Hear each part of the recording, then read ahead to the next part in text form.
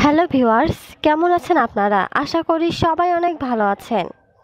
আজ আবারও নতুন একটি ভিডিও নিয়ে আপনাদের সামনে হাজির হলাম আমি। দর্শক, আজ আমি আপনাদের সাথে শেয়ার করব লাল শাক ও কচু শাক খাওয়ার উপকারিতা সম্পর্কে। চলুন তাহলে জেনে নেওয়া যাক। স্বাস্থ্যকর এবং পুষ্টিকর লাল শাক এবং কচু শাক। নানান ধরনের শাকের মধ্যে লাল শাক এবং কচু শাক অন্যতম। এই দুই শাকে এমন কিছু উপকারী গুণাবলী রয়েছে যা আমাদের স্বাস্থ্যের জন্য অনেক উপকারী। আমাদের দেশে বছরে বারো মাসই নানা রকম শাকসবজি পাওয়া যায়। শহর বা গ্রামে আমরা বাড়ির পাশে বা আঙ্গিনায় লাল শাক লাগিয়ে থাকি। শাক আমাদের শরীরের জন্য খুবই উপকারী। নানা ধরনের উপকারী গুণাগুণ রয়েছে শাকে। আজকে আমরা দেখব লাল শাক এবং কচু শাকের উপকারিতা। দেহের সুস্থতা বজায় রাখার জন্য লাল শাকের গুরুত্ব অনেক বেশি।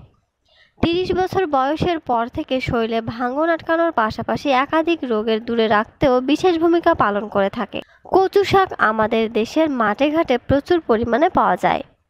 আয়রন সমৃদ্ধ খাবার হিসেবে কচু শাকের খ্যাতি রয়েছে। ইলিশ, চিংড়ি ও শুটকি মাছের সঙ্গে মুখরোচক খাবার হিসেবে বেশ সুস্বাদু। তাহলে চলুন দেখে নেওয়া যাক পুষ্টিগুণ বিচারে লাল শাক না কচু শাক খাওয়া উচিত। উপকারিতা লাল শাক রক্তে কোলেস্টেরলের মাত্রা স্বাভাবিক রাখতে সহায়তা করে, ফলে হৃদরোগের ঝুঁকি কমে অ্যান্টিঅক্সিডেন্ট ক্যান্সার প্রতিরোধ করে। মস্তিষ্ক ও হৃৎপিণ্ডগুলিকে শক্তিশালী করে লাল শাক। কিডনি ফাংশনগুলোকে ভালো রাখতেও লাল শাক খুব উপকারী। এতে প্রচুর পরিমাণে আয়রন রয়েছে, ফলে রক্ত শূন্যতা রোধেও খুব উপকারী। লাল শাকে আছে প্রচুর পরিমাণে ভিটামিন সি, যা চোখের জন্য খুবই উপকারী। বিশেষ করে দাঁতের সুস্থতা, হাড় গঠন, গর্ভবতী এবং প্রসূতি মায়েদের দৈনিক ক্যালসিয়ামের চাহিদা পূরণে এই শাক উপকারী। তো দর্শক, চলুন তাহলে জেনে নেওয়া যাক কচু শাকের উপকারিতা সম্পর্কে। প্রচুর পরিমাণে আয়রন থাকে, তাই রক্ত শূন্যতায় ভোগা রোগীদের জন্য কচু শাক খাওয়া একরকম আবশ্যক বললেই চলে। কচু শাকে ভিটামিন এ থাকে যা আমাদের রাতকানা ছানি পড়া সহ রোগের বিভিন্ন রোগ প্রতিরোধগুলো দৃষ্টিশক্তি বাড়িয়ে দেয়। কচু শাকে প্রচুর পরিমাণে ফাইবার বা আঁশ থাকে যা খাবারকে সহজে হজম করতে সাহায্য করে থাকে। যাদের কোষ্ঠকাঠিন্যের সমস্যা আছে, তারা কচু শাক খেতে পারেন। কচু শাকে প্রচুর পরিমাণে ভিটামিন সি থাকায় এর লৌহ উপাদান আপনার দেহে সহজে আত্মীকরণ হয়ে হয়ে যায়। তাছাড়া ভিটামিন সি শরীরের ক্ষত সারাতে সাহায্য করে, তাই শিশুদের ছোটবেলা থেকেই কচু শাক খাওয়ানো উচিত।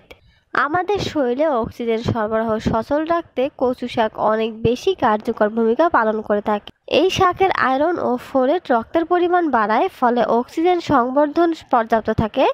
এতে উপস্থিত ভিটামিন কে রক্তপাতের সমস্যা প্রতিরোধ করে।